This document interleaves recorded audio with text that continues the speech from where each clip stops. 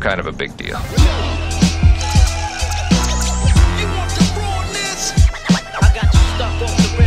Let's step away just for a second from the inexpensive to the kind of luxurious high end brand of house that I'm not super familiar with. I have a few from the, you know, maybe the, the rookie line, but this is my first from the luxurious, sexy big dog line. Let's roll my motherfucking music so I can put you onto this fragrance because I got it from the plug and I'm happy as fuck I did. Sexy we're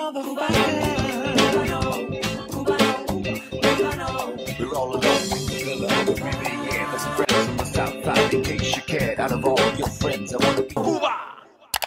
Blessed morning, my beautiful peoples. You know who it is. This is your boy, C to the U to the B to the A. This is by the House of Guerlain or Guerlain or however the fuck you want to pronounce it. That's how it is. Now, this one is not an inexpensive fragrance at all. This was definitely over the $200 mark, but is definitely luxury in a bottle. Not super familiar with this line. I can't tell you too much about it. I mean, do I really tell you much about anything nowadays? This was absolutely a blind buy, and this was absolutely love at first sniff. The fragrance is by the House of Guerlain, and it's none other than Bois d'Armani. D'Armini. D'Armani? I can't pronounce this shit, but it's pretty. I know it's probably hard to see the name, but look at the presentation that this shit came in. Beautiful leather box. Look at the presentation, little coffin and shit it came in. So the bottle sits up in this piece like that. Hold on. Bang, because I will drop this shit. Bang, keep that shit on decky like that on your stage and you just have it. I've worn this fragrance four times already.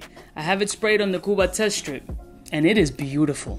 It is so appropriate for this cold weather that it's ridiculous. Personally, what I get from it is like this sweet, smoky, incensey, kind of dried fruit, resinous combination that is just fucking, oh, from paper.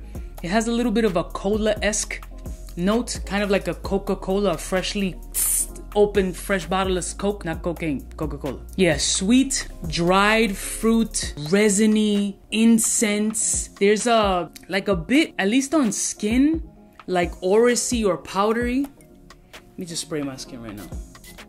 Let me let it air out a little bit. It's like beautiful dehydrated fruit, sweet, not overly candied, but just that right amount of sweetness. Again, resinous, woody, powdery. Yeah, I still get a little bit of a cola-esque vibe on my skin. And that's pretty much it, but it's it's so much more than just the simplicity of the note breakdown I just gave you. It evokes this beauty and this softness and this creativity about it that it's just I can see the artistic and the artisanal flow about it. It's layered. It feels like it's properly layered. It's like a perfectly set up pastry dish with the phyllo dough is just it's a beautiful fragrance, absolutely beautiful. Makes me curious to smell more fragrances from these uh, from this Guerlain line. And one of the things that I like about it, and I actually haven't let wifey smell this yet, is that when it fully dries down on my skin, it has a little bit to me of a churgy vibe. So I'd be very interested to know what she thinks of this fragrance once I let her smell it. Because when she finds out the price tag,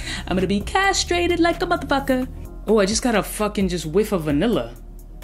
Hmm. Talk about wrapping it up and just smell vanilla. Okay, so yeah, beautifully sweet, incensey, powdery. There's possible vanillic note in there. There's that Coca-Cola essence, dried fruit resinous, fucking just cold weather masterpiece. I love this fragrance. I think it's absolutely beautiful. It's definitely a ball spray, excuse me. Now, you might want to sample this shit. I'm not gonna say go out and blind buy it, but I'm gonna tell you this much: this shit is litty. If you got any other recommendations of this Guerlain line that I should get my nose on, please feel free to drop it in the comment. Hopefully, I can get it for a deal. I'll see y'all bitches next time. You know what it is? It's the biggest in the game, son. Trying the fancy shit, cause I'm bougie like that. Allegedly. Smooches. What's fresh? Who's best? One of them's gonna pass the test.